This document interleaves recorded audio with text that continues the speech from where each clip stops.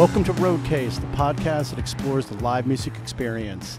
Thanks for joining us. I'm your host, Josh Rosenberg, and I'll be taking you on a journey through in depth interviews with performers and key people in the industry to explore the magic of live music, how it can be totally transformative for both fans and performers, and we'll look at how they take it all out on the road. It's going to be a great ride, so here we go.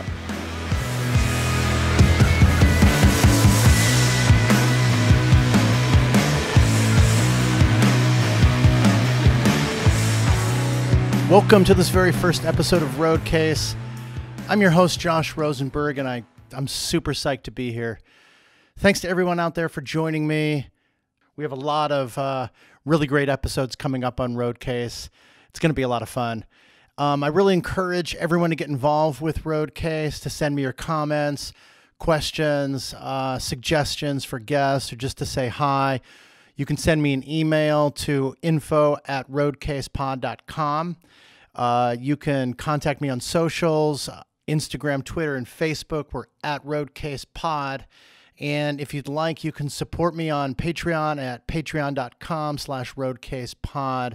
And of course, you can subscribe to this podcast on your favorite listening platform. So for our first episode of Roadcase, I'd like to welcome Eric Frankhouser. Eric is the tour manager for Wilco for the last six years. He also worked with Eels, Lucinda Williams, and Paula Cole. Eric's been in the business for a long time. His dad was in radio. He grew up in Lubbock, Texas, lived to, lived in Austin for a little while, studied sound engineering, got plucked out of Austin and had a baptism by fire when he was going to tour manage for Jamie Dale Gilmore and finds himself at the sound engineering board, um, at the sound board at a Central Park show where they opened for Joan Baez, and it just took off for the, from there for him. Eric's a chief problem solver. That's what tour managers need to do. Eric lives by the mantra run to your problems, which I love and I try to incorporate into my own life. I don't necessarily always succeed. But Eric's someone who doesn't get angry at the big problems. He settles down, takes a deep breath. He's very zen about his attitude, and it's just a reflection of his own professionalism and his um, his acceptance that tour managing inevitably comes with problem solving. There's a lot going on. There's a lot of pressures associated with it on the road, and he does a great job at approaching these problems and attacking them proactively. It's what needs to happen to make the show go on the road. It's really interesting when we pull back the curtain on Wilco. We'll see inside the tour bus a little bit, get some good stories about what happens on the road. We'll learn why the three greatest words in the English language for Eric are house lights out. He said, that's the drug with the roar of the crowd at the beginning of a show makes it all worthwhile for him. So I want to thank you again for tuning into this interview, tuning into Roadcase. I know you'll enjoy this with Eric Frankhouser of Wilco. So here we go.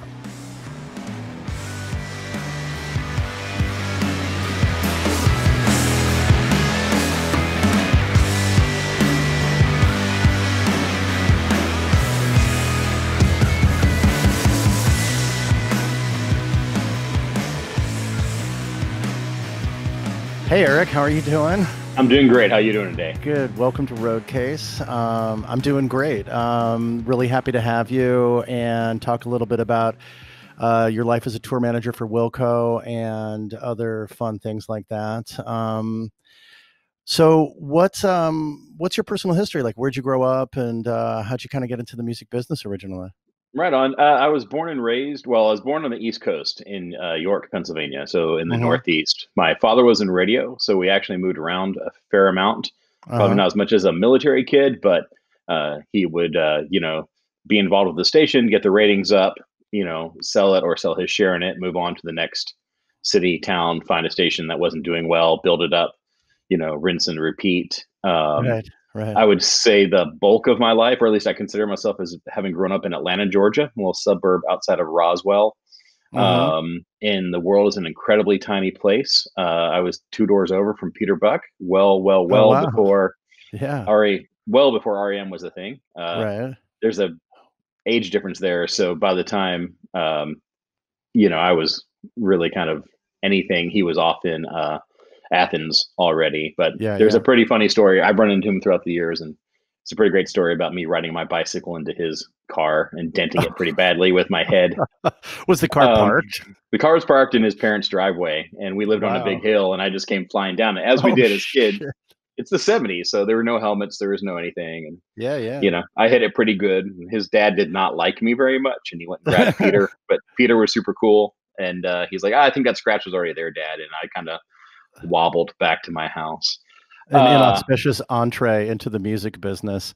Yeah, unknowingly. Uh, unknowingly. Did you have you like circled back with him since then and had a laugh? Yeah. that? Yeah, a couple times. I've run into him many, many, many times. Yeah, uh, uh, in times with my time tour managing Eels, and also obviously with Wilco because there's such a tight connection right. there. Uh, but that all ended up leading to my father buying a station of his own in Lubbock, Texas. Um, Mhm. When I was about 14, uh, moving from Atlanta to Lubbock was a bit of a. Uh, uh, I was just it was devastating as far as a 14 year old kid who Yeah, had friends sure, and stuff was yeah. was concerned, and you went from a place that was full of culture and interesting things to a place that didn't have anything Yeah. uh, at all on any Uh-huh. level. Our very first visit, there were literally tumbleweeds blowing through the street. I thought it was a joke. I thought I was on a movie set. Um, but those challenges lead to the things that sort of define you, right? So you either create Yeah. while you're in Lubbock, or you know you you do some pretty bad self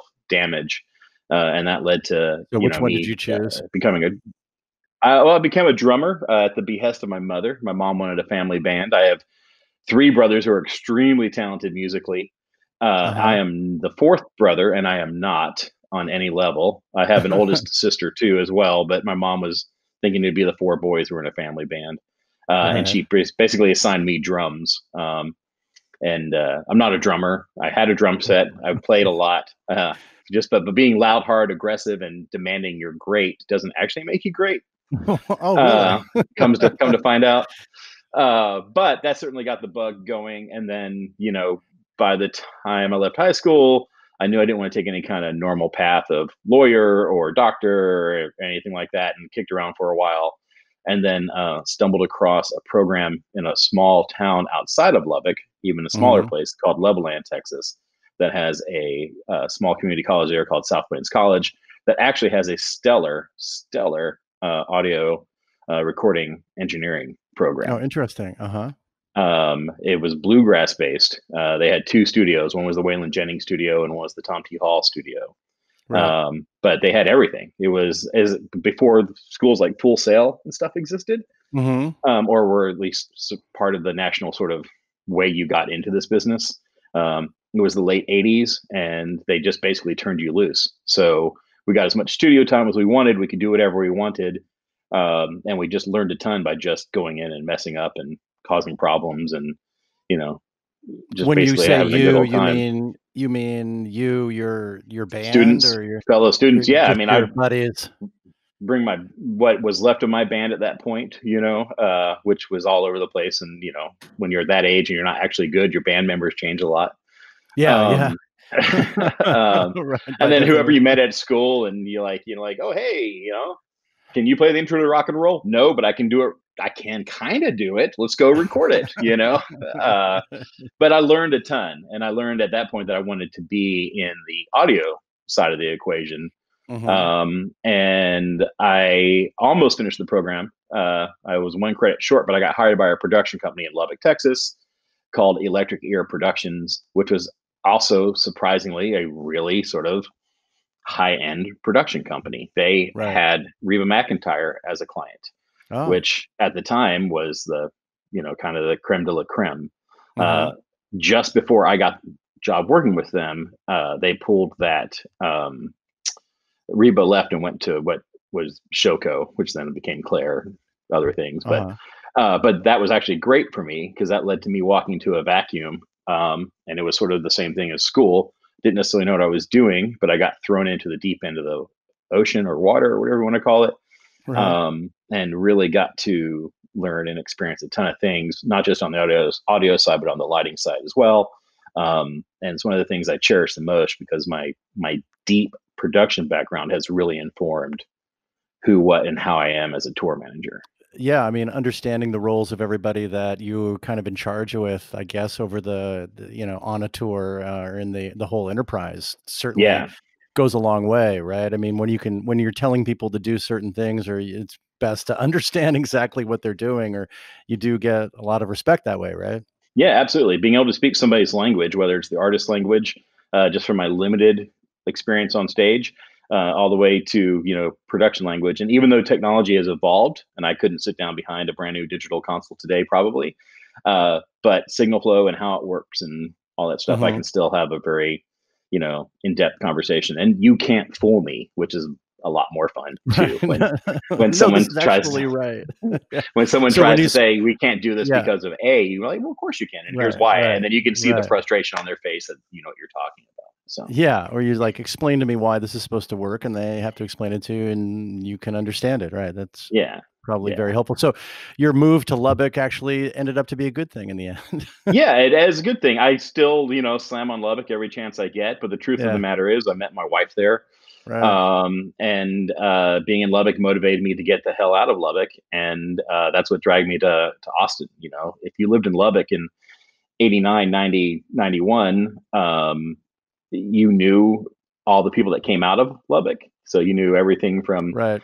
you know, Buddy Holly to the Flatlanders. And uh, I was lucky enough to work a lot with the Maines brothers as sort of the uh, standby monitor guy because they Uh-huh. used the Electric Ear production for all their their stuff. So I got to mix monitors for the Maines brothers a ton, which gave me a ton of experience Right. and I knew I wanted to move to Austin. And one day I was mentioning it to Lloyd Maines actually, hmm and uh, he's like, "Get out of here! You know, you've gone as far as you can go. Get out of here." Right. And so I loaded up everything I owned in my 1977 Chevy LUV and moved to Austin. Nice, nice. Yeah, And uh, what around what year was that? that was '93. Uh-huh. And you were so you were what at what period in your professional career was that? Like where were you uh I was you did you I was you nothing but in Austin for Austin. I moved to Austin. I'm sorry, I interrupted you, but I moved to Austin just because I had to leave Lubbock. Um, and I knew I wanted to do something in the music business. And Austin was viewed as this strange mecca of magic place where there's music and Shiner beer on tap, Yeah, and you know, like all kinds of things that were just amazing.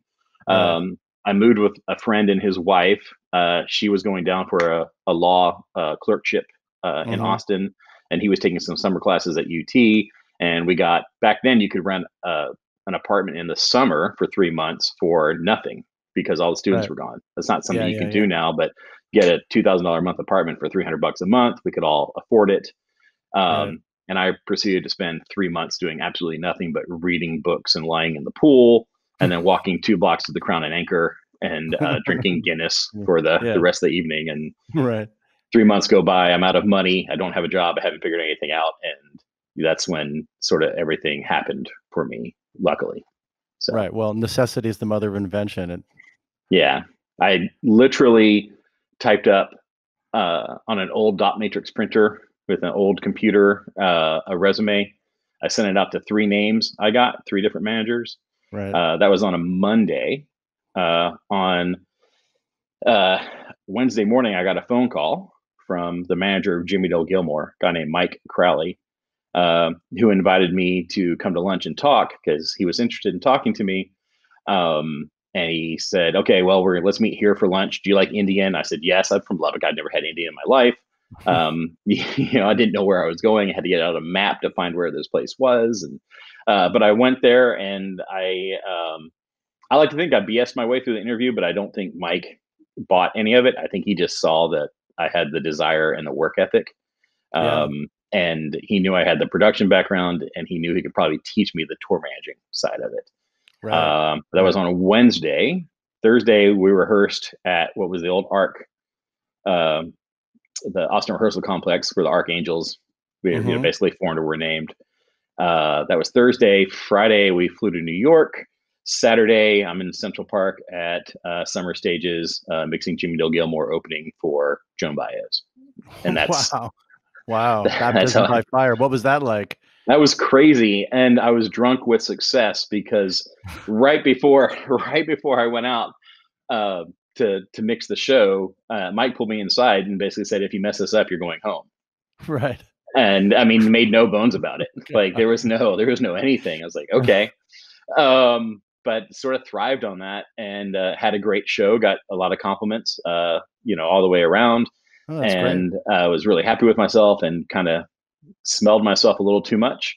Uh, I was invited to dinner that night with uh, Jimmy uh, and some of his friends, and some of his friends turned out to be people like Natalie Merchant and Dan Rather and David Byrne. Um, and kind of a low key dinner that night. well, and I was smart enough at the beginning to just like sit away and, and listen. But it was an Italian restaurant where they brought out what looked like magnums of white and red wine. And um, at some point, I said something really stupid and out loud. And I have this memory of the entire table splitting like Moses parting the waters and Mike just laying into me. Oh and, oh my God. Seriously? And wow. yeah, and deservedly, deservedly so. Like, you know, I was like, well, I'm the tour manager and I know how to do this. And he was just like, you know, he he snapped to it pretty quickly as he had every right and reason to do. I should have been doing nothing but listening. I shouldn't have said a word at that dinner. Um, and I kind of realized how bad it was. And I got up and I said, got it. I'm out of here. And I walked all the way from Little Italy back to Central Park, you know, and woke up what, the next morning. You, okay. I, I, I'm compelled to ask, what did you say? I said something, something along the lines of, well, I'm the tour manager and I'll make that decision. And keep in mind that I've never tour managed anything in my life up to this point, except I've managed to successfully get Jimmy's band from the airport to the hotel to Central Central Park. Well, that's pretty which good. is not exactly that didn't go sure. Well. it, no, not not for somebody who you know worked for the Colonel. You know, not for somebody who was born and raised by Colonel Tom Parker. You know what I mean? Like that's not going to Yeah, fly. yeah. um, yeah. and Jimmy and Mike were staying the next day on the Monday to um, do press. Uh, everyone else flew home. Uh, and I think I called Mike on Tuesday morning at 10 o'clock in the morning when I knew he was back and said, Hey, look, I know I messed up. I really want this job. You know, Right. is there any chance that I still have it? Yeah. And And uh, he said, Yeah, you had about five more minutes. You know, you waited too long to call. Don't wait too long to call and, and apologize next time. yeah. Right. You know, wow. so- yeah.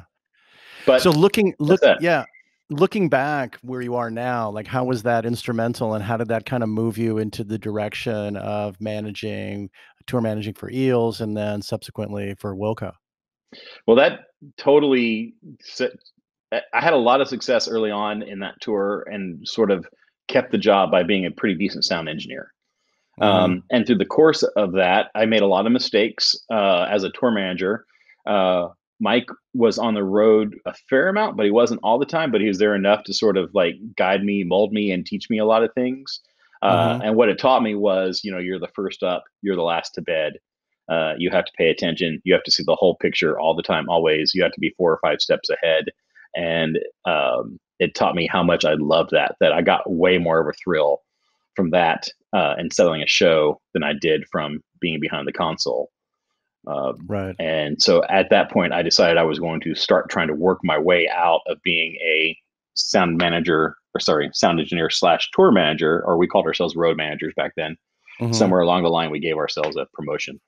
Yeah. Um, sounds way better tour- yeah, we're all tour managers now. Back then, you were a road manager, uh, and that totally informed me. It told informed everything about how I do everything to this day. That year was I woke up every day, pretty sure I was fired, um, but that was fine. Uh, Right. And I worked every day to make sure I wasn't. Um, and I think that kind of yeah. trial by fire is a really good thing. Uh, it instilled a lot in me, uh, and uh, it made me know that I wanted to go in the direction of tour managing more and engineering less. And so I Yeah, started trying to work my way towards those artists. And right uh, luckily, in '97, um, Mhm. in that you know the music business being a small world, uh, Mike's wife Janet Crowley is a very well-known rock and roll travel agent. Um, she does a lot of major acts like CSN and others. Wow. Um, and the manager of Eels called her because he needed to book some flights. And in the course of that conversation, said, I need a tour manager. The person I have out now is doing sound engineer slash tour managing. He's much more of an engineer, not a tour manager. And Janet said, Oh, I don't think Eric's doing anything, and gave him my number. And uh, that guy's name was John Carter, known in the business as Carter. Uh, he's legend in many many ways. But uh-huh. he was managing uh, Eels and Paula Cole at the time. Uh, he hired me by answering machine. I called him. He called me. I called back and got his voicemail. He called back and, and, got my answering machine. I so called your answering back. machines got to know each other really well. Yeah, it was a fascinating story. I drove to Kinko's to fax a copy of my resume because you know none of us had fax machines, and there certainly wasn't. Yeah, of course. Email was only like a, it was only like a buck a page. So yeah, yeah exactly. faxed faxed the thing, and he called back and asked how much I wanted, and I immediately called back. It was some comedy of errors. I would wait by the phone waiting for this call and then something really important would take me away and that's you know when he called and right, we literally went back and forth by thing and um, but i got the job flew out to la when they were filming the rags to rags video. They had already filmed Novocaine for the Soul video and yeah yeah yeah. and that was that and i still i mean i'm still really tight with all those guys uh, to this day. The last eels tour i did was 2018 so oh nice. Uh-huh. Yeah yeah. and i'm so uh, and then that led to you know, Eels were uh, done touring just as Where Have All the Cowboys Gone hit by Paula Cole. Mm-hmm. And uh, Carter basically just gave me that gig as well. And, you know, that was a rocket ride for three years. Yeah. So what was that like just starting off? And uh, was that a US tour or they were just touring the US at that point early? My very first, my, well, Paula had me fly to and from New York uh, just for an interview.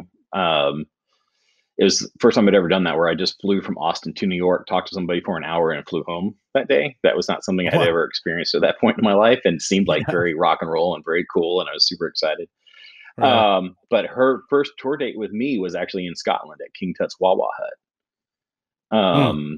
I had just finished an Eels tour 12 hours earlier and right. one tour bus dropped me off.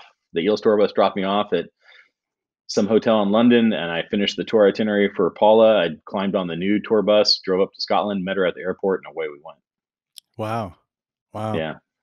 So that's pretty world that's that's pretty whirlwind. I mean, yeah. Um how big was the the whole eels operation, for example, like comparing to what you're what you're looking at with a Wilco? I mean, um, you know how because uh, and obviously you have to juggle so many challenges and you're clearly you know an on on your feet kind of by the moment uh, problem solver which is uh, really what you uh, have to specialize as a tour manager. I mean you said yourself you've got to be five steps ahead of everybody else. Um, what are kind of those some of those lessons that came into play early on when in your first tour managing experience with eels? Um, what well as far as eels versus wilco goes it was very very different two completely different eras of music and two different styles of mm-hmm. management setup and bands so eels are at a time when dreamworks is the is a huge label and eels was the first band they'd signed they'd signed i want to say george michael as a solo artist or something but eels were the first band the money yeah, was flowing yeah. the checks were being written checks right. like that don't get written now on any level in any way for tour support. So it was business class over to London, and it was my first experience with getting a band in a van and having girls chase it down the street. And it was a gargantuan leap from, you know, the very important lessons I learned with Jimmie Dale Gilmore, James McMurtry, um, you know, all those Austin singer songwriters, uh, yeah. all that really important stuff. I I kind of refer to my time in Austin with those people as AAA ball uh, because it really honed my skills. And then I was lucky enough to get called up to the show. To the majors. Um, yeah. And I also walked into a really great situation because they were a young band uh, as well at that time without a ton of touring experience. So any deficiencies I had were kind of hidden by the fact that I was already an upgrade for them. And yeah. so it's another right. experience of still learning on the job. I certainly wasn't right. fully, I certainly wasn't fully formed as a tour manager by that point. So. Yeah, or maybe they didn't know what they were. They couldn't get on you really hard. It's like so that's a positive and uh yeah. You know. Just so the fact that I had an itinerary, like I had, you know, we we call them the Book of Lies, but back in the day we had printed itineraries, like a month or two months worth of printed itineraries at a time. Right. You know, uh, now that's all done on an app on your phone. It's super easy, uh, and you can Google the distance from point A to point B. But you, none of those tools were there back then, right? Yeah. So you really, so in a way, in a way if you're you're operating a bigger operation right now but in a way have things gotten kind of easier because of the automation because of apps because of you know the advances in communication et cetera absolutely without a question i mean i started this job with a you know MCI calling card, a pager, and a legal pad and a pen. Um, I remember that. I remember MCI calling cards. and you would get a 911 page on your pager, and you tell the bus driver to pull over to a truck stop, and you hit a right. payphone and find out what went wrong. And it could be anything from really bad news to, hey, there's an interview I need you to schedule. It could be anything. Um, right. And and now that's ubiquitous and instantaneous, whether it be text, email, or whatever. Um, and the expectation is that you're available 24 hours a day. Uh, back then, as it as it is today. Yeah, so even more so today, even more so today. You know, you don't respond to a text on on the road today to an artist or musician within you know three or four minutes. You get a series of question marks. You know, like yeah, where are you? Yeah. Where are you? And why haven't you thought you responded to me? So right. So it's easier, but it's harder. Yeah, it, re- it requires more instantaneous response. Um, how has that kind of fashioned the way that you approach uh, the job of logistics and movement and travel and venues? I have a couple mottos. Uh, probably my most important one is run to your problems. Uh, I believe in run aggressively to, run to your problems. Run yeah. to your problems. I, I, think running to your problems is the, simply the most important thing you can do. Don't ever look at something and be afraid of it and be afraid to address it. Get to it. Get to mm-hmm. it right away. Even if you can't solve it in the moment, it's okay to run up to a problem and say, "Hey, I see you. How are you? I'm going to get back to you in 20 minutes. But you can't right. just let it fester. The longer you let it fester, the worse it gets. And that's just a universal truth. At least it has been for me. Yeah, um, absolutely. And then it's preparation, preparation, preparation. It's advancing. You know, you have to have done all of your work well in advance so that when you walk into a venue on that day, you already know how the day is going to play out and you've already game planned for the 10, 20, 30, or 40 things that are going to go wrong you know whether this is a union hall that has an asshole steward or you know if this is a union hall that has a guy that's really cool that's going to work with you. You know that this promoter rep uh, is someone you've had issues with in the past or not. You know you just those are all things that come from time on right. the road what does a typical kind of day look like? I mean not a typical like what is a it's not a, never really a typical day but what does kind of okay this is a show day. It when does the show day begin? Does it begin when the the prior let's say you were playing in a in a in a city the night before you've got like you're you're you're stacked with one night and then the next night. When does everything in the preparation start? What does that look like from when the venue uh went for sorry from when the show ends the night before until you get on stage sort of? So when the show ends the night before uh, the day ends for me when i know that the band's all on board and safe. Um, and let's just say mm-hmm. roughly let's just say that's 1 a.m or whatever.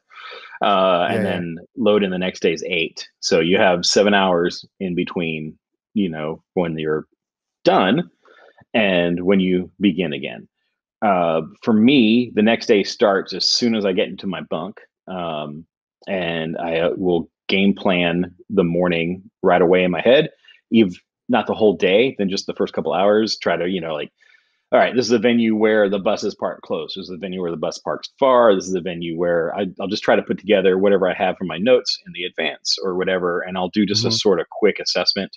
And then I'm going to do everything I can to turn my brain off and get some sleep. Um, right.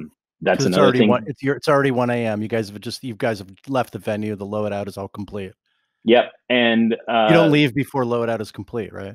No, very rarely. Sometimes the band needs to get down the road. Wilco is in a very fortunate situation where we have an amazing wheel crew. Um, yep, I um, see that. I like that shirt. That's pretty and, cool. And I have the luxury of trusting everybody. So if it's a show and go for the band for some reason, then I can get the band on the bus and go and knowing that everything's going to be fine. A show and go, I'm assuming means they, they do the show, you finish, and you're gone the hot out. Just Elvis has left the building. Kind of like the distance, uh, right? The distance, the, what governs that? Just different logistical factors, the distance to the next venue, etc.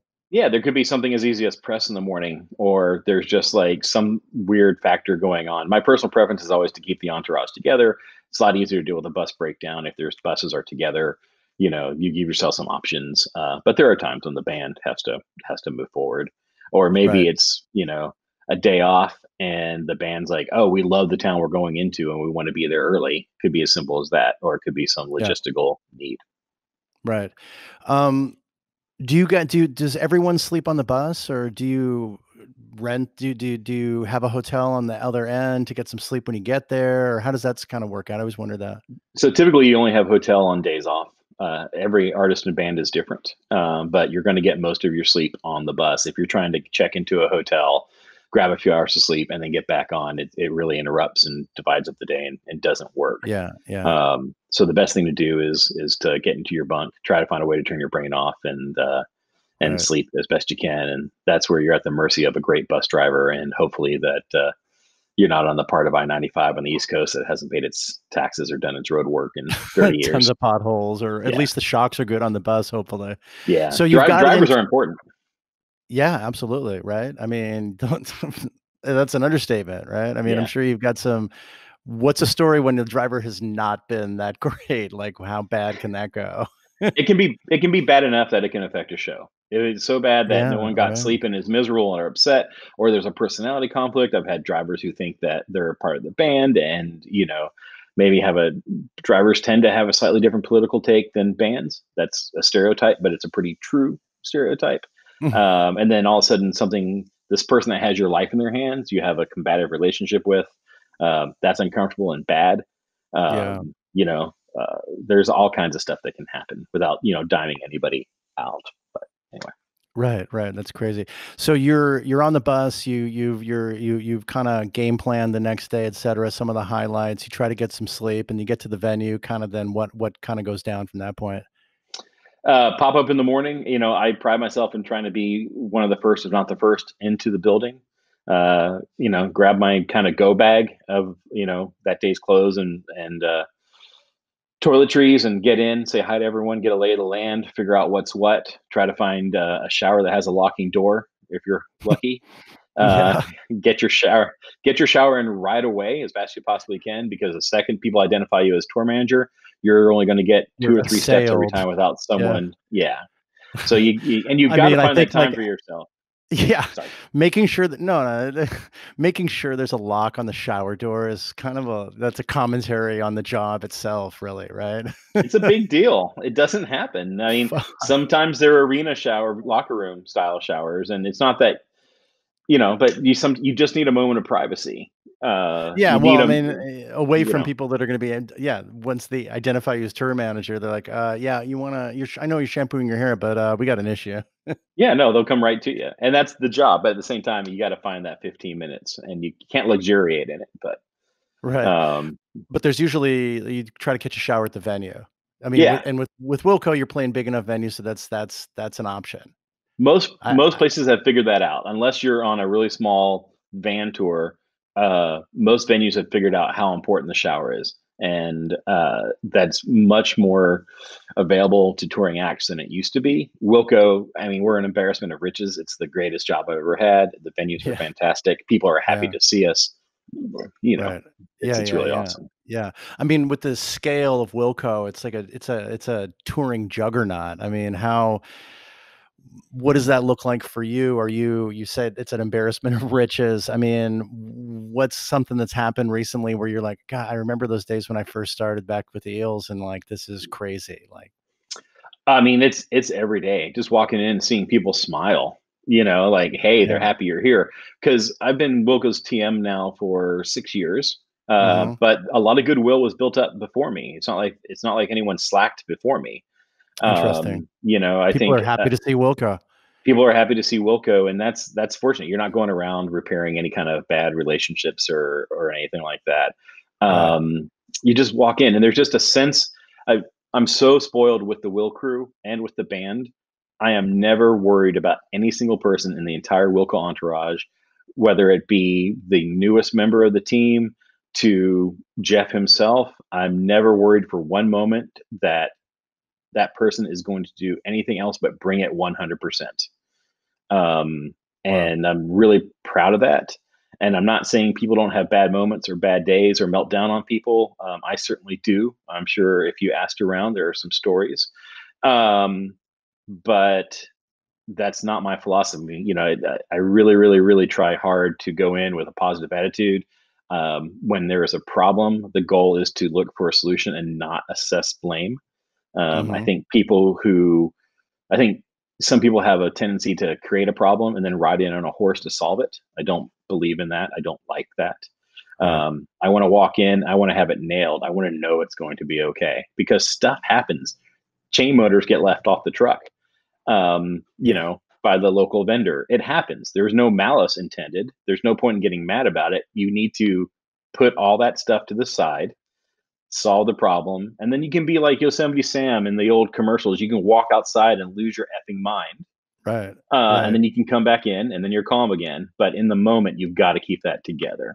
Yeah, it's a it's a it's it's a it's a unique ability to objectively approach a problem, not assign blame, and fi- try to find the solution as quickly as possible. And trust your people. Sometimes you're not the one that has the best idea on how to solve the problem. Right. Um, I tend Well, to think I you? am. So that but- that kind of begs another question that I was I wanted to ask. What sort of interface do you have with other people that you could bounce like an issue off? Is it kind of an ad hoc? You know, you who are you the closest with in terms of position, and how So does the- that hierarchy work? the brain trust of Will Crew, in my mind, uh, is myself, our production manager, Jared Dodarelli, uh, our Mhm. stage manager, Ashwin Dipankar, and uh, uh, Wilco's assistant tour manager, uh, Ashley Pocket Knife Magazel. We call her PK. Um, and uh, those are the four people that I'm going to circle up from a crew perspective and and drag in and say, hey, how do we solve this? You know, Jared, this is an audio problem. It's falling more in your world. Or, hey, I'm sorry, Ashwin. I know we'd much rather prefer to have a solo acoustic act, and we only have four state feet of space, but we've got a 17 piece band coming. You've got to figure it out. Um, and that happens, you know, and Yeah. and it's not our job to tell the band they can't have who they want to open or whatever it is. It's your job to sort it out, and you need to do it, and you need to do it with a positive attitude because it's just going to go faster. It's just going to go better. And I'm just like I said, I'm really lucky to have a team that does it, um, and a team that doesn't coddle me either. You know, um, Pocket Knife has no fear to tell me I'm wrong, and it's great. Right. Yeah, yeah. Those it's good to surround people with surround surround yourself with people that don't necessarily give the answer that that you want. Um, yeah, it's important. And so these all these people are traveling with you as well, like in a different Yeah. bus. Uh, or you are you in the Wil- same bus? Wilco's with- a- yeah. Wilco's a two bus tour. It's me Uh-huh. and the six band members on one bus, and then uh, the ten members of the Will crew on the other bus. And then we're a one semi truck tour most of the time, depending if we're going out to bigger places. Maybe maybe we have more than one truck, but we try for budget purposes to try to keep everything into a single semi truck. But it would just be like one truck for an entire tour, or would there be like a different venue where you have to bring in other things? And what kind of other things would you bring that that that that fill a second semi tractor trailer, huge eighteen wheel thing? So one thing that's changed in the last sort of ten years of touring is um, audio's gotten really really great and lighting's gotten really really great. Mhm. Um, so you don't have to rely on bringing your own stuff to know that you're going to have quality equipment. So we tend to travel with control, which means we have our own lighting consoles and maybe we have some lights of our own, um, and then our own set pieces. And then we travel with audio control as well, which means we have our own consoles and we have our own monitors. But then all the other stuff we're going to bring in locally. Um, and that is what saves us from having to carry uh, a second truck or a third truck. Oh, Um, okay. And what's vendor- the other stuff? Uh, so just it's sound and lighting. You just like you know people don't really realize how much truck space that stuff takes up. You see the big Yeah, speakers yeah. flying on either side. Um, They look know, small odd- from far away. right, but it's it- you know it's a truck or two worth of stuff. Yeah. Um, and there was a time when you just couldn't trust that anything locally was going to be good enough, um, and that's not the case anymore. Uh, you know, there's four or five manufacturers, and also just like anything else in the world, um, things have gotten consolidated or you know all under one roof. So you know Right. that oh hey, this is an eighth day audio PA, and eighth day does the audio for these ten sheds and these five theaters, and you Right. know walking in that you're in great shape. Or this they're is a solid Clair and amazing. So you figure out all that ahead of time. Like, I'm going to this venue. What's the sound? How much do we have to bring? What do we have to worry about or not worry about? Oh, interesting. So it kind of becomes a little bit more consolidated because there's great sound in different houses, for example. Absolutely, and and we work hard on the advance, so we lay everything I'm out in advance. We are like Oh, you mean you don't do this on the bus the night before? we don't, uh, and that's a lesson people have to learn. You know, Yeah. because there can be, I don't know. This is the part of this is the part of the interview where I'm the old man on my porch yelling at the kids to get off my lawn. Um, because I feel like some young tour managers don't understand how easy they they have it. Um, yeah. uh, with when I was your age, yeah, and and it's fine, but I wonder if they understand the logistics of it as well as they had had to figure out all that stuff. Instead well, just if you could, if you could choose it. one, yeah, if you could choose one thing from now that you'd like to have had back then, what would be? What's that key element that it's would have made? The ma- it's master. It's the Master Tour app by Eventric. Absolutely, the Master Tour app. Yeah, it's it's industry standard at this point. There are others out there, but that's the one. Um, I'm user number 003, I think. Oh, seriously? If, oh, early adopter. guys. Yeah. Um, and uh, I, I adopted technology early on. I mean, I, right. I almost wish I had it. I had this James Bond looking like thing of phone adapters because every single country had a different phone adapter. So in the days of AOL dial up, you'd have to be able to have an adapter for Italy, for Ireland, for the UK, yeah, yeah. for Spain, for Germany, you know, and that's another thing that's changed. Back then, I had to have 20 you know, folders because I had to have lira and guilders and kroners and francs and right. you know all that's changed. You know, there's not nearly as much of that now because you just right. okay. So that's two things. So it's the the app, and now Sorry. we're talking about currency. But yeah. still, I mean, yeah, so. the currency thing I hear a lot about. It's just way easier now that it's on a on the, like the common European market. So yeah, so um, much easier. But yeah, oh, totally. I can't even imagine. It's hard as an individual. just a lot of organization and a lot of folders and a lot of paper. It used to be yeah. right, but and been, less paper now too. Just yeah, oh, you, yeah. You overall, overall, even yeah, yeah, you just pay whatever. Yeah, it, right. It says in my advance right now that do not bring hard copies of settlement to me. If you kill a tree by printing out an ad pack, I'm going to lose my mind. Um, What's you know, I don't need it. An ad pack is proof that the promoter spent the money on the advertising they say they spent. All right. And the way that was done back in the day was they would photocopy every single ad they placed in the newspaper or a music rag and a photocopy of every single receipt that they bought from the radio station or whatever. And you would, I would only need that if the show had sold poorly and hadn't expected to, or, but it's not something I need all the time. And it's certainly, I don't, something I want printed out. Um, and I'm not going to carry it around. I'm going to throw it in the trash can as we leave because it's going to answer my question one way or the other. Yeah. You know, you didn't spend the money, you didn't do your job, and then I'm on the phone with the agent and I'm going to let him take it from there, and you're going to be really sorry. Um, or everything's great, and oh, I do want a copy of this ad because it looks great. I'm going to show it to the artist. But all that can be done electronically. Yeah, of course, of course. And the app that you were saying that you wish you had had, which begs a lot of questions about like that the technology just wasn't ready at that point, et cetera. But tell me about this app and how that helps make your life easier.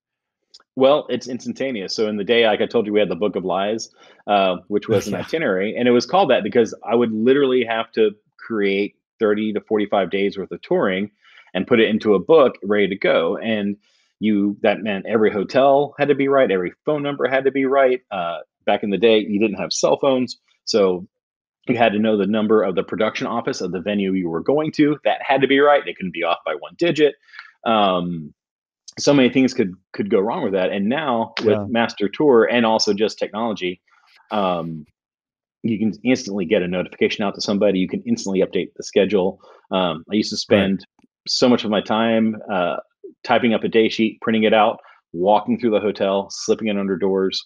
Um, none of that happens anymore. You know, so this is a pro- integrated project management system that yeah. like will zap emails to everybody according to your list or texts or whatever, and then just yeah so of course it's and it's on their phone too. That's now it's kind of great because sort of the responsibilities sort of fall into the user. Like they can't yell at me for not slipping a sheet under the door because all they have to do is pick up their phone and they can see the most recent information.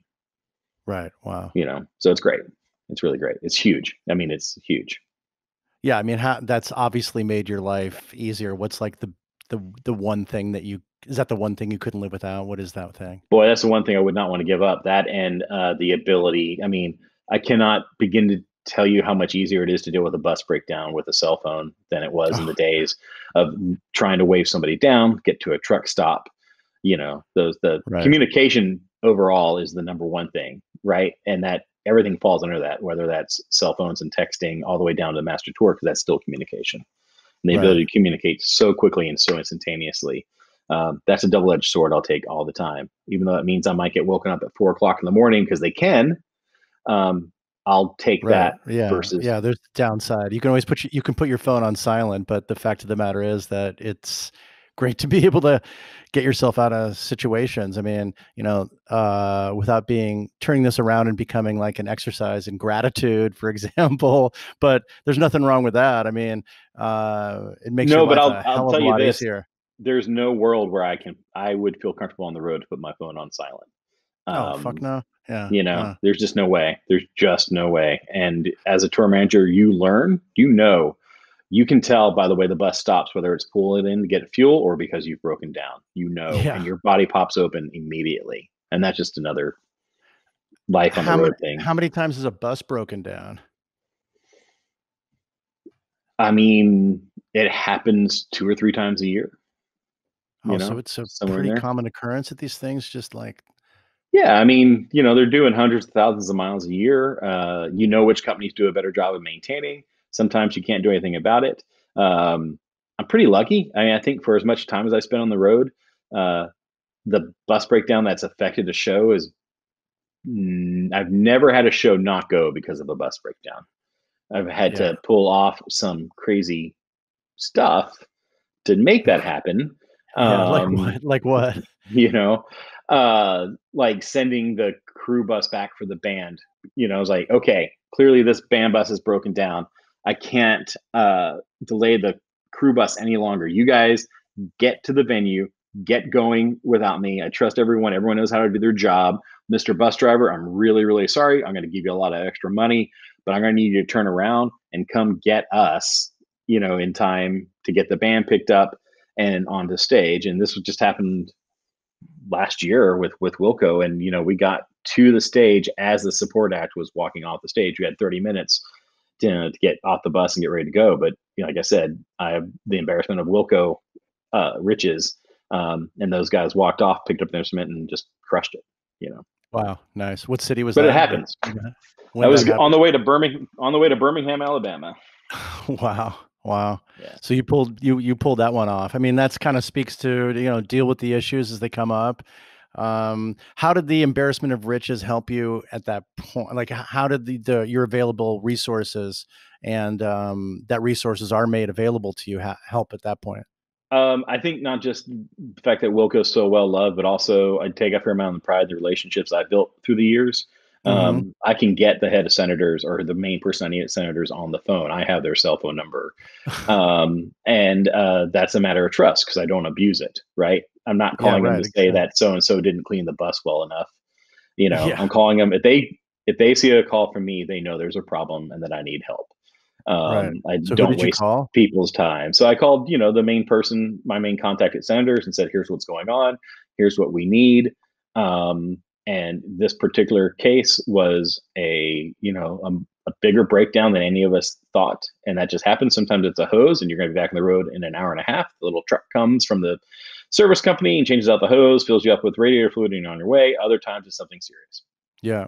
this was the time that was serious, but the company was all in. Uh, they stayed with me on the phone and took all my calls and you know all that kind of stuff. But if you're a band that treats your drivers badly or doesn't pay their bills or is arrogant or anything like that, I believe that stuff comes back to bite you.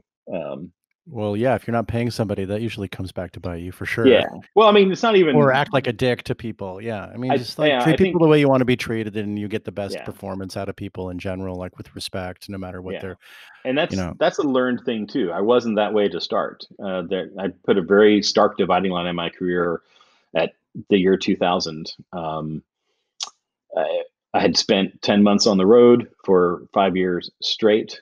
I was a shell of a person physically and mentally. I'd just come off Mm, a really, really, really hard tour. I won't say who the artist was, but it was the most difficult tour of my life and still stands as it.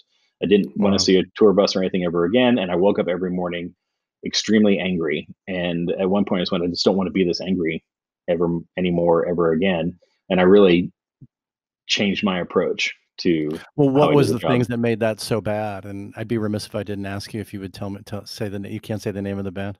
Well, if you're standing at the bottom of a hill catching shit all day, um, you're not going to be a happy person, you know. And if if you're working for a toxic person who's going through a bad time, yeah. um, then that falls to you. And if you're constantly getting yelled at or being held responsible for whims or things that you can't control, then you turn around and you take it out on others.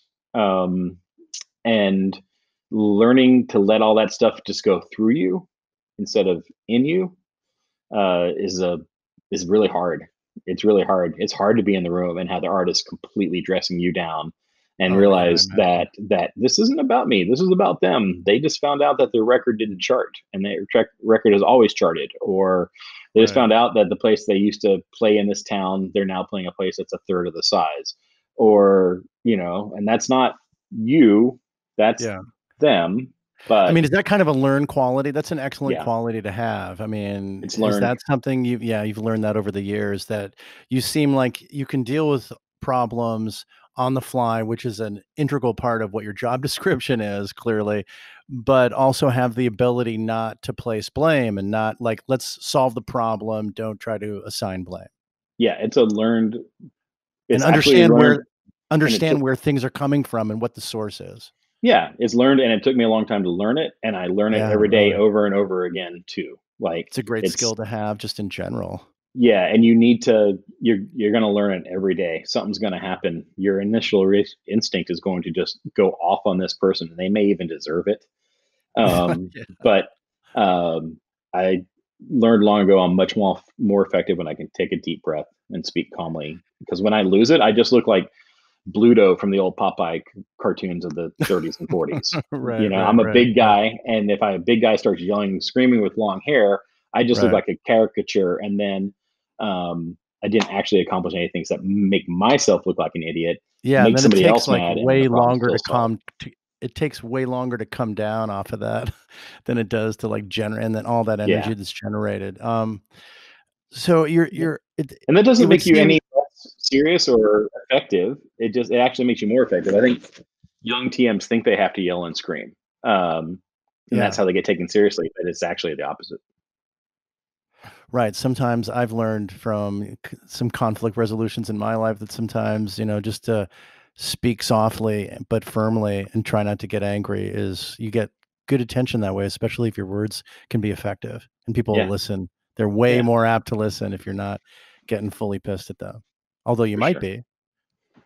Yeah, it's also more satisfying. Again, it's also more satisfying. I mean, we, to be able to tell somebody exactly what the fuck's going on instead of just screaming and chewing people out.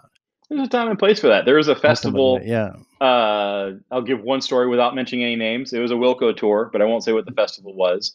Um, it was a festival that had good sized artists on it. The night before Weezer had played, and the night that Wilco was playing, Wilco was headlining. Um, forget who played right before us, but it was somebody decent, Jenny Lewis, or I don't know. Mm-hmm. Um, and uh, woke up and I just could not believe the condition of the festival site. This was a real deal festival with real deal acts, and I went to the the dressing room area and they had one porta potty that hadn't been cleaned out or sucked out from Weezer the night before. um, and I walked into the production and I asked a few questions, and it was clear that they had no intention of doing anything about it and that you know uh, i i fully launched on that person. Um, and i don't feel bad about it now and i didn't feel bad about it then because there are appropriate moments to do that. But i do remember screaming that you don't invite a band like wilco and not give them a place to shit. Yeah right. And people don't understand. You can't poop on the bus. You can't do they don't understand how important it is to have a place just to do something like go to the bathroom their plan for going to the bathroom was to put you in a golf cart and take you to the church that was three blocks away. That's not how going to the bathroom works. No. Um, you know? Uh, and so there are times where yeah. you just have to put your foot down, and you know, lo and behold, there was a really nice right. toilet trailer there two hours later. And sometimes that happens. Other times, right. there are there are times when we're dealing with bodily functions, you got to get pissed. Or notwithstanding something. our prior, notwithstanding our prior conversation about calm conflict resolution, don't fuck with shitting in a porta potty. I mean, would you like to wake up in the morning and have no place to go to the bathroom? I mean, no, dude, i am just I'm making I'm no, making I'm, light I'm just, of it just because I think it's a no, no. I totally I, agree with you. People laugh all the time. They read Rock and Roll writers and they think we're ridiculous and everything like that. It's like, hey man, like we don't we can't go down the road to the grocery store. There's Yeah. no like, you know, we don't go to our refrigerator and there's something magically there because someone shopped for us or whatever. So, you know, all the stuff matters. And, you know, creating that environment for the artist and the crew matters. It's going to help the show. It's going to, you know, people tend to think Yeah. that that's a diva thing, but it's the farthest thing from the truth that there is. Well, it goes back to also the advances in like in venues and being also with a larger being able to get in there and take a shower and like all that stuff that you there are certain baseline things that you need as necessities to be close to be able to operate on that kind of level. Yeah, for sure. Right, For right, sure. right. Those common frustrations that, you know, if you got to go and there's not a clean place to go, Yeah. you know. Yeah. I mean, people So- put up with it when they're fans, but the Yeah. talent shouldn't have to put up with shit like that. I Not mean, to mix not to mix metaphors. Yeah, but so Yeah. you know, you pick your battles, and so you're going to have those moments. And also, I'm human, and I've gone off on somebody because I was having a bad day, you know. Yeah, and then you yeah, try to re- sure. you try to repair that either at the end of the night or or next time around. But you know, everyone's human. Uh, everyone's sure. human. I'll just leave it at that. Yeah. Um, you talked about how, um, and it's well known in the industry how professional the Wilco operation is for sure. Um, and how much does that um, do personal connections with the band? I mean, you're on the bus with these guys, right? How much is that and those type of good relationships that you can develop uh, over time? And um, having a band that's professional, having experience at their back, uh, being somewhat older, um, how much does that play into making your job much easier? And what are the factors about that? Uh, It's, it's everything. And uh, we talked earlier about being at the bottom of the hill and catching stuff as it rolls down the hill. Yeah, Um, but I'm extraordinarily lucky because I'm with a, an organization that doesn't throw stuff down the hill um, from top to bottom. Um, without a question, Jeff Tweedy gets it and is involved more than any artist I've ever been around ever. Um, he has high standards, but he gives you the tools, he gives you the space, um, and he lets you do your job. And Right. his manager does the same thing. They trust you. They say, "Here are the parameters that you need to work within." You know, here's the here's the tour budget. Here's what we have, and then they get out of the way and they give you the, the keys to do that. But they don't abandon you either. So if you turn around and say like, "Hey, I'm hitting this wall on this thing," there's a resource for help there. You're not left alone, and that's uh, that's not something. Trust me, that is not something that happens. There are some managers who are more concerned about managing their fantasy baseball team than getting back to you, where you wait three or four days for a simple decision about a dis- t-shirt design. So the does not- respect and professionalism Yeah. kind of extends throughout the entire organization. Absolutely, Jeff's and it- manager included. It starts with Jeff though. It's it's the it starts with him and the band. Um, they they treat everybody with respect. He just does.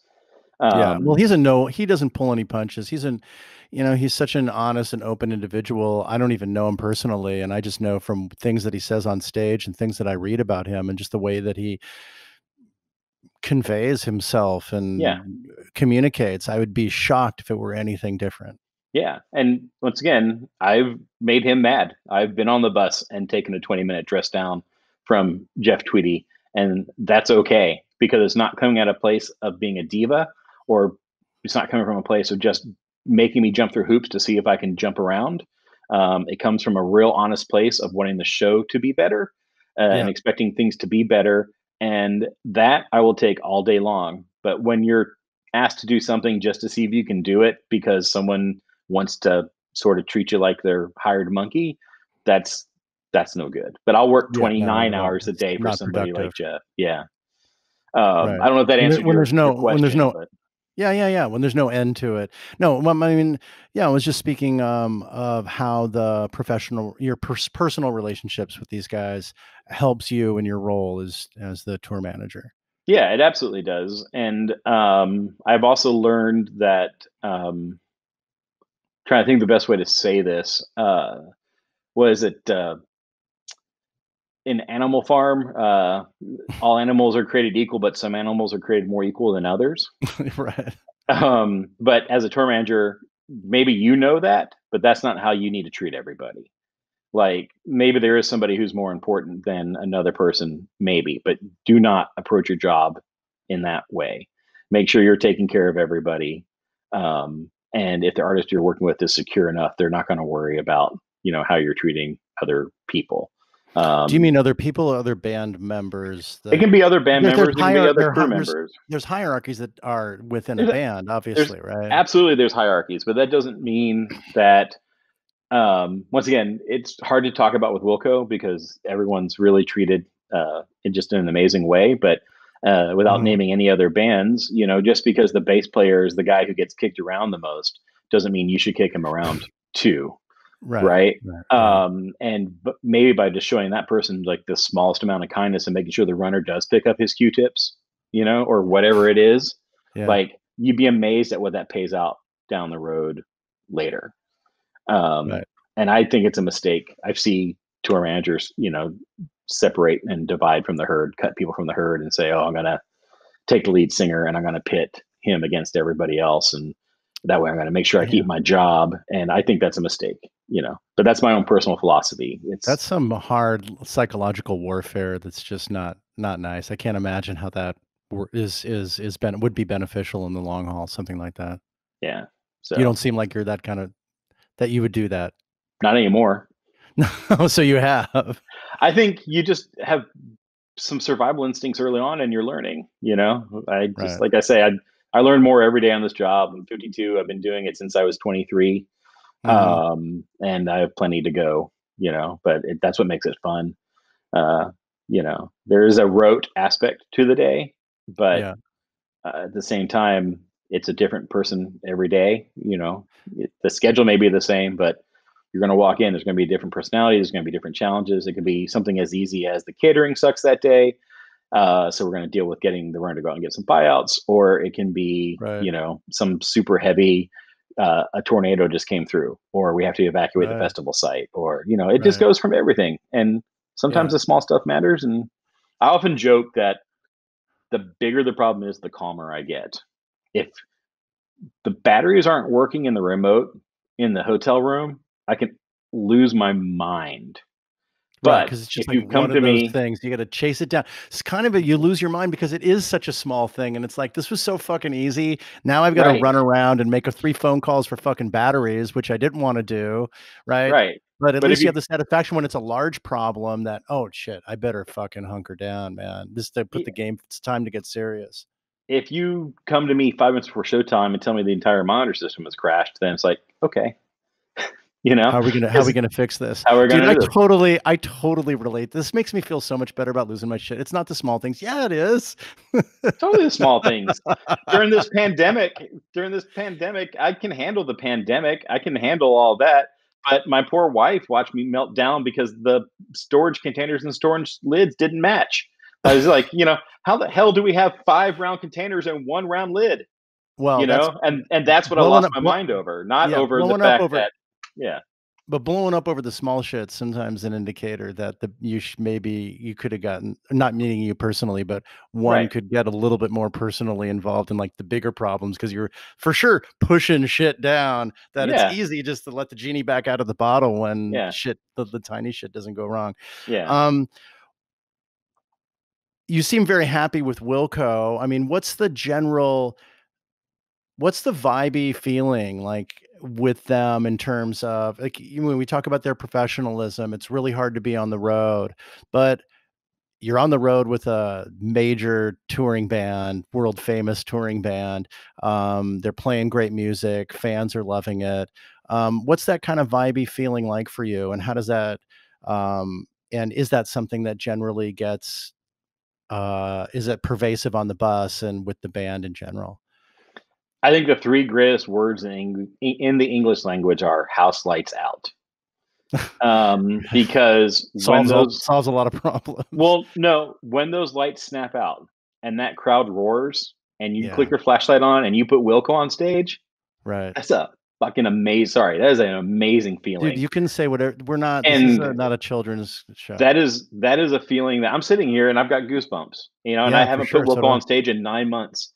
Um, and and that's been true with every artist I've ever done ever. Whether that was somebody walking on to you know it 12 people in a club that has all their sports games on the TVs and they're not turning them off like you know it's it's an amazing feeling to be able to do that and to be yeah. able to do it with bands like Wilco or calling house lights out with eels at a sold out show at Royal Albert Hall or you know putting Wilco on stage at Pukkelpop in front of 60,000 people or whatever it is. I mean, that's the drug. It's not any street drug or illegal drug. The drug is right, house lights no. out. The drug is the snap of the lights and the roar of the crowd.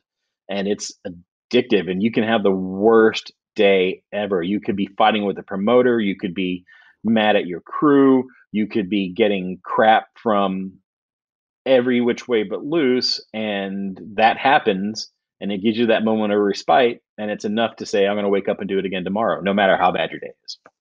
Wow that's amazing and obviously the band that that's that's kind of what drives the whole operation right? It's just getting out yeah. there getting it on stage having lights out having people be into it right? I mean you're bringing yeah. joy it's an ode to joy.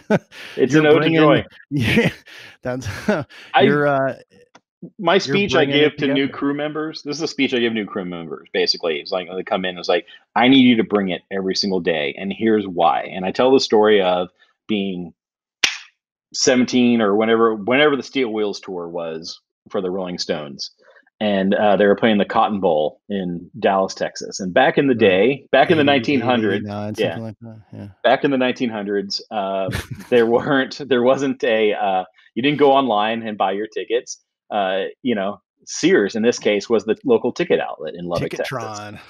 And you went and slept on the sidewalk. And, you know, I was the first one in through the doors of Sears to buy my Rolling Stones tickets. Yeah. Um, you know, and I was so excited and I went and it was the worst show I ever saw in my life. and it was crushing. It was crushing. Why? What and, sucked about it? For you? It was just, you know, it just it, it was the worst sounding show I've ever seen. It just didn't work. Um, I've seen them since, and they're fantastic. So this wasn't about the Stones. I don't know if it was a bad day for me, a bad day for them, a bad day for the sound guy. Yeah. yeah. Um, you know, whatever it was, but it was it was a miserably bad show, and I was horribly, horribly disappointed. Um, and I tell them all the time, all the crew members, like, you have to bring it every day because this show this show might be the place where someone meets someone they fall in love. This might be the show where two people who are on the outs come together and remember why they fell in love. This show might be the show that keeps someone going and not having something end their life the next day because they have it to hold on to. Like yeah. it's important. And i know i'm like raking it up to like this really important thing but i believe that. I feel that because the crowd gives it back to you I'm not even on stage. I'm standing off stage. I never want to be on stage. Um, right, right. You right. know, but you can't. You can't phone it in. There's never one day to phone it in. Um, and I won't accept it. I won't accept. A, oh, hey, half the light rig's not working, but we can do the show without it. No, fuck you. Fuck you. Fix it and yeah. fix it now.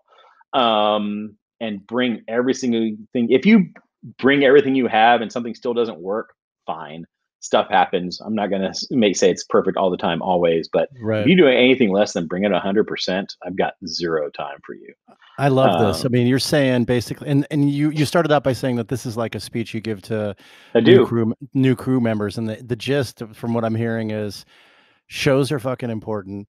What yeah. we're doing for people out there is important. You have no idea what that looks like on a micro level or right. a macro level, but here, it, their music, live music creates possibilities uh, creates environments for people to uh, thrive or to have to them pointed out yeah. uh, things that are going on in their life and given yeah. sometimes even given people the strength to go i can do this in whatever fashion or whatever they're going through in their life uh, yeah. and it just gives people fucking happiness and hope apart from any kind of other problems i mean it's a it's a respite it can be a respite for people that have a tough life just to get out there and do this show and you know you are yeah. bringing it and you're and you're bringing it to the people and i could see how like because we're on this video call i can see that you were getting emotional about talking it about it it matters to me this and this is it, like yeah this matters to me too i mean this is this what this is what it's all about. Yeah i mean and i asked the crew guy like what made you want to be here? Don't tell me it wasn't you saw somebody somewhere that you went holy crap that i want to do that for me, it was at the age of eight and open up Kiss Alive 2 and seeing Peter Criss's Drum Riser and all that stuff. That, you know, I was yeah. like, wait a second, what's that? I yeah, got to go yeah. that direction. And oh, then that led sure. to, you know, being a crew guy for the Electric Ear and seeing Garth Brooks, you know, come in in the morning and help the lighting crew put his lighting rig together. And, you know, like, wait a second, this matters. This isn't something you can just like, wait, wait a second, this matters. And then your own disappointment. Like, I mowed so many lawns for those Rolling Stone tickets. I had to yeah. basically steal my parents' car to get to Dallas. It's six and a half hours away from Lubbock, you know? Right, right. Um, well, Garth Brooks know? had always like said, I remember hearing him talk about shows and he's like, I look up into that last row because I want to like that person was yeah. working just as hard to get to that seat. And I want to, you know, everyone's got to get off at the show. Yeah. So I, I get a little on my high horse and I get a little emotional, but it, I do believe it, you know, and I think it informs my work too. So. Yeah, that's beautiful, man. I mean, that's this is it's it's really what it's all about. It's the music and it's the vibe and yeah. I love the bands that you've worked for too. I've been super lucky. I mean, my career is ridiculous. I mean, you know, Wilco, Lucinda Williams, Eels, and then you know James McMurtry, Jimmie Dale Gilmore. I mean, I did stuff with Butch Hancock and Tish Hinojosa, uh, Paula Cole, Amanda Ghost, um, Hal Ketchum, uh, and wow. I'm super proud of like wow. how long my relationships are. Like I mentioned, like you know, Eels in '97, but I did a tour with them as recently as 2018. I've been yeah. Wilco's tour manager for six years. I was Lucinda's manager, tour manager, sorry, tour manager for nine years, almost ten. Um, wow. Worked with Hal Ketchum for a decade. I take real pride in the length of those relationships. Yeah, absolutely. Well, I can see why people would want to continue to have you aboard. Does Wilco kind of keep you rolling as tour manager even during these times when no one's touring? Wilco treats me exceptionally well. Um, and uh, I have I, I get excited when I get a call from anyone in Wilco world, even if we're off the road. You know, right, I still love it could be Nels Cline asking something about you know, uh, he's having a hard time checking in for his flight for a solo gig going to Europe. I don't care. I love sorting that out for him. You right. know, uh, so well, yeah. I mean, we the were, answer we were is, talking. To, yeah. What? Sorry. Go ahead. No, no. So the answer is yeah. I mean, they they they do. Um, uh, I I've been extremely lucky. I've been treated very well by every artist I've ever worked for. But Wilco takes it to another level. Like they just make you feel like you're the guy, and it's amazing. Right on. Well, we were talking about before we we started was uh, how you live in Austin now, and Wilco's uh, home is Chicago, and how that can be a good thing or a bad thing. Like you want to get involved with them personally, but then sort of being in a different city allows you to sort of focus on your own life when you're not on tour. Yeah, I, I mean, you refer to myself as Doctor Jekyll and Mister Hyde, um, and H I D H I D. Well the, the, the way it has to work, and I'm lucky enough to have a wife and an awesome son who get this, is when the door closes and I'm in the car on my way to the airport, I'm a tour manager.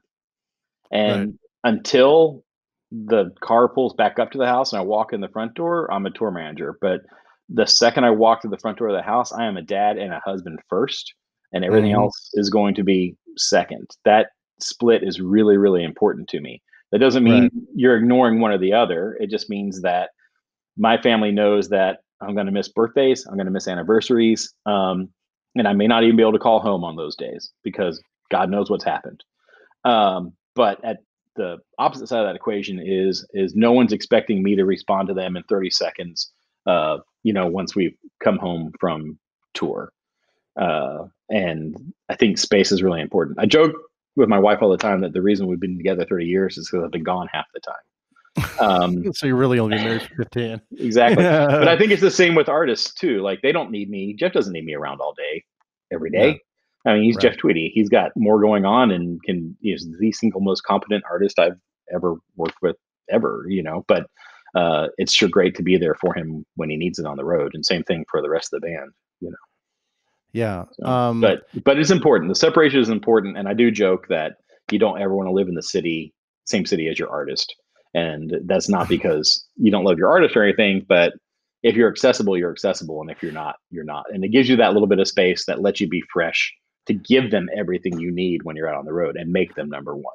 Well, the thing I took away from that we were talking earlier, but um, was that you're committed to both, but yeah. be having that sort of physical distance is more of a mental thing where you know, okay, I'm in Austin, it's family time.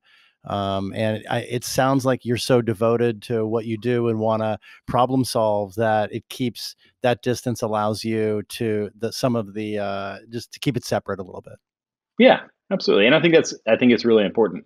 it's also another lesson you need to learn. All those things like, hey, it's okay to eat right. It's okay not to eat an entire after show pizza. Um, it's okay to it's okay your, to eat an after show pizza too. If you need to. Uh, but it's also okay to be honest with your artist and say, I'm exhausted and I've got to sleep. And you need to be able to tell your artist that. And you hopefully have an artist who understands. And if you don't, you might be in the wrong place. Um, and so what, what are the what are the lessons like from being on the road so much? What are your kind of big picture, uh, either professional or life lessons that you've gleaned from this amazing professional life that you've led so far? I mean, I, I think we sort of touched. I mean, certainly it's run to your problems. It's always be prepared. Yep. Um, it's don't be afraid to take care of yourself. Uh, don't be afraid to prioritize the things in your life. It's okay to do that, and as long as you communicate that to the people, and if someone's being moved to number two for a little bit of time, tell them why, and then tell them what you're going to do uh, when they're back to number one. I, they'll get it. They'll understand it. Uh, you know, for the most part, and just be confident and just be grateful for every single day. And if there's any question about that, March 12th was the last time I got to put Wilco on stage, and never in a million years. When we canceled that tour, we were scheduled everything for November. Never in a million years did I think we would still be sitting here hoping with fingers crossed that we can work in June of 2021. Right. Um, right. So so don't take it for granted and take care of yourself. Do small things for yourself. I take shit all the time because I drink Starbucks. Um, and you know I'm in Vienna or someplace that has amazing coffee, and I go get a Starbucks, you know, latte, and people are like, "What what's wrong with you?" And it's like, no, every single thing in my life is different every single day, all over the world. If I can find one, I can start my day with this one thing that I know is going to be exactly the same. It has nothing to do with the fact that Vienna has great coffee. I'm sure they do. That's not what I need. What I need is this 45 seconds of that first sip that allows me to lock in and be ready for the day. And it's okay to take care of yourself, you know, with stuff like that. Yeah. You know, yeah, and yeah, it's the yeah. little, little things. It's the little things well, no one, yeah, no one's going to do that stuff for you, and it makes you kind of centers you, grounds you, and brings you back. Yeah. So that's a good lesson Yeah. to take back to your to one's own life, right? Yeah, for sure. Yeah, So that's cool. it's the greatest cool. job in the world. You're in charge. You get to tell people what to do. Uh, embrace Right. it. Well, and you get to go to the show every night too, man. I'm envious Yeah. of that. I would do that. yeah. Shit, I that'd mean, be amazing. you know, I uh, I have a younger brother who's a an amazing guitar player. He- Um, and uh, you know, he has a million different guitars, and every now and then he'll post a picture of, I got this blah blah blah guitar, and almost without failure, you know, I'll write back with a picture of, oh, I just upgraded my printer. It's amazing. You know, and it's kind of the same thing, right? Like, right. you know, just because you're a tour manager doesn't mean you can't be a gearhead. You can get excited about About your printers. tools. You can get excited about your tools, you know, as much as as anybody else, and uh, and being on the front edge of that, and being as put together production office as you possibly can be, like all that stuff. That it's a, it's a, it's fucking awesome, you know. Yeah, yeah. Oh, how much do you when when the when the we talked about when the house lights go down? How much do you get to enjoy the show? It anything depends. It depends on so many factors. Um, I try to check in without the show throughout, uh, but lots of times that's the time I get to eat as well. Uh, Because if I try to eat like when everyone else is eating, I can't get a bite in because I'm asked a bunch of questions. Uh, a lot of other business goes on as well during the show. I'm settling the show, you know, as soon as the box office closes and other things like that going. But I keep a monitor in my office. I'm listening to the show at all times. I always have an ear out to hear if something feels like it's going wrong on stage. It does not happen much with Wilco, but every now and then there's a rowdy fan or, you know, somebody who's doing something wrong or a security guy who messed up or whatever. Um, but you know, look, if they're if Impossible Germany's in the set, um, I don't care what's going on. I'm going out to catch Nelson solo. yeah, right. You know, Yeah. on and Over on and on. Hopefully, you're on Nels' side at that point. Well, yeah, you know, always get that luxury. But if on and on and on is in the set, you know, that's my personal favorite all time Wilco song. I'm going. I don't care what's happening. We could be in the middle of a right. really important settlement. I'm dropping it. I'm walking. I'm going to the side of the stage. That's that's the luxury of of the job. You know. Well, don't you know what song? Don't you know that song's coming? I mean, do you see the you see the set list, right? see set list but yeah but you know there are audibles and you know and it's not Yeah. wilco doesn't play the same set every night so you know Yeah. what's there are some songs that make it in most nights but you know right. not all of them and that one's not that one's not, not in you know all the How they how do they deal with the set list uh, stuff? I mean, does Jeff kind of drive that process? I'm going to assume. Jeff drives the process but they also wilco has a uh, fan request link uh, for every Oh, single right. show Uh-huh. on their page, and that is absolutely printed out and given to Jeff uh, every single time. Um, he'll come with a provisional set, and they'll have that in time for a sound check. And the band will look at it and say, "Oh my gosh, you need to work on this one because that has been the set for a while," or Right. whatever. Uh, and they'll sort of work all that out, and that will sort of marinate and sit there for a while. And then maybe there's something you still have a question about. They have a jam room um, that's set up backstage. Uh, just a really small, very simple setup that they all can play together. Is that like consistent in every venue so that that's kind of part of the deal? They have to have like a separate room where they can get together away from we will everybody. we will do whatever it takes to find a spot for them Okay. to do that. Yeah. Also, Yeah. they're not. None of the guys in Wilco are precious. So if that spot happens to be in catering, because that's the only place we can find to put it, Yeah. you know, fine. they're they're fine. You know, they're not. These aren't. Don't look me in the eyes as I walk to the stage, guys. These are these are right. pack your lunch in your in your lunchbox and go to work, guys. You know. Right. So That's interesting. yeah, but Cool. there you go. Right. There you go. It's a good- it's a great job. I don't know what else to say. I mean, it's a it's a great job. Yeah, you know, it's like I. it's yeah. a weird job. There's no security. There's no anything. It's up. It's down. It's over. It out. It's a gig economy. You know, something happens to any one person, an entire tour can get canceled and go away. I've been through all that, but I wouldn't change a thing. Right. Well, I mean, clearly the professionalism of the Wilco operation extends to you. Uh, you're like a sweetheart of a guy. I've really enjoyed the conversation. Um, Might yeah. you might call around to some Live Nation promoters and just double check that story. But uh, yeah, I haven't really uh, checked my sources or you know looked for corroboration on that, but I'm just gonna go. I'm gonna go with No, this I- for right now, Eric. What do you think? I mean, I think that's fine. I like uh, I I take pride that I think ninety percent or ninety nine percent of venues are excited when Wilco buses roll up, and they're excited when I walk off the bus. I think Right, you know right. whether that's a fiction I'm telling myself or that's the truth, but I I do believe it, and I think that's because of the hard work everyone in that entire organization does. yeah. I mean, uh, yeah. It's such in in in this in these tough times. I mean, are you kind of looking at next summer at this point? I think that's the best hope. Yeah. Um, there are so many variables, and there are so many ways to get back on the road. Uh, if you know instant testing became available and it was cost effective, then we could go back to work tomorrow. Uh, but you know, Mhm. fans are probably gonna have to realize that if tests cost five bucks, ticket prices are probably going to go up five bucks. Um, Right. You know, uh, there's so many things to to, To have like an instant out. test is what you're thinking. Like, Yeah, like if there was a true instant before you test, go to a show. Absolutely. You walk in, you you know, breathe into a breathalyzer thing. You have COVID. No, go on in. You have COVID. Yeah, yes, still on. this this way. You know, uh, that would allow large gatherings to happen again. You know, and then obviously Yeah. a vaccine that was uh, effective would allow that. Um, and the But- time that it's going to take to distribute it, not just a vaccine out, right? Yeah. I mean, yeah, do you kind of envision like socially distanced shows?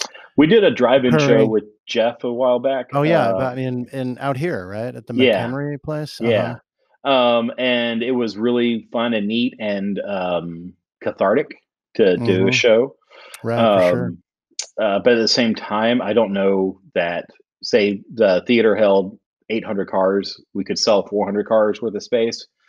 Um, you scale that up of what promoter needed to do. You had to get a stage, you get a PA, you had to get lights. You know, you it's just really, really hard to make that a viable way of doing business. It's okay for a one off or two. Does does um, making does incorporating a live stream into that model help?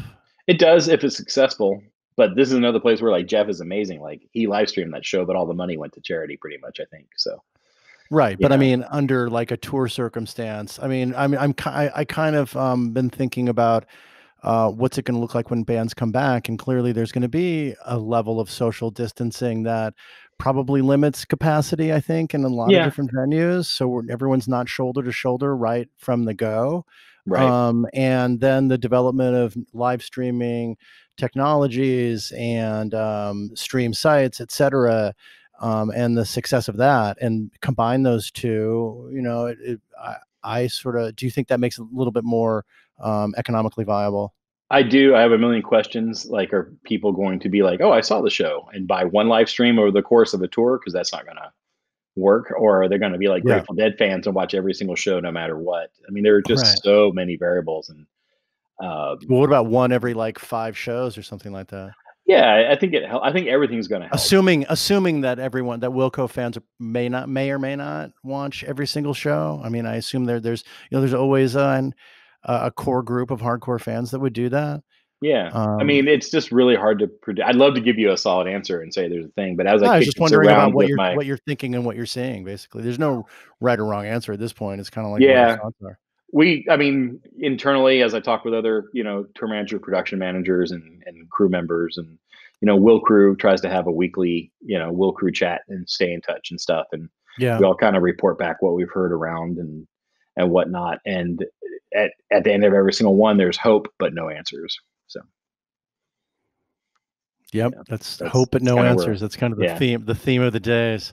yeah Anyway, thanks so much, Eric, for being. yeah no me. problem I really appreciate it. i had a good time i hope i didn't uh, yap too much No, you yapped to just the right amount, man. I really All right. appreciated it.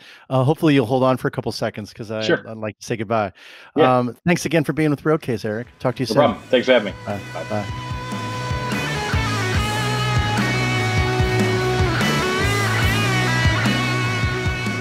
Okay, well, there you have it. World Inside Wilco's Touring Machine from Eric Frankhouser. Super interesting. Love the stories. Eric's really got a good philosophical attitude. Big problems, stay calm, attack your problems, run toward them. Even got a story about Peter Buck in there. That was pretty hilarious. Um, and Eric just loves the music, you know. That's really important. Understanding what the shows mean to the fans. You have a purpose. You're putting on great shows. You're getting the band from city to city. Really fascinating stuff. And thanks again to Eric for being my first guest on Roadcase. So, once again, thanks for joining me. If you'd like to contact me with questions, comments, suggestions for guests, or just say hi, you can email me info at roadcasepod.com or through the socials Instagram, Facebook, and Twitter at roadcasepod. And if you'd like to support Roadcase, you can do so at patreon.com slash roadcasepod. I want to thank Waltzer for the great Roadcase theme music, and I want to thank all of you for joining me on this very first episode of Roadcase. It's been really special. I've been super psyched to be here. Can't wait to see at the next episodes. We got a lot of great stuff coming up in the weeks and months to come, so I'll see you on the road.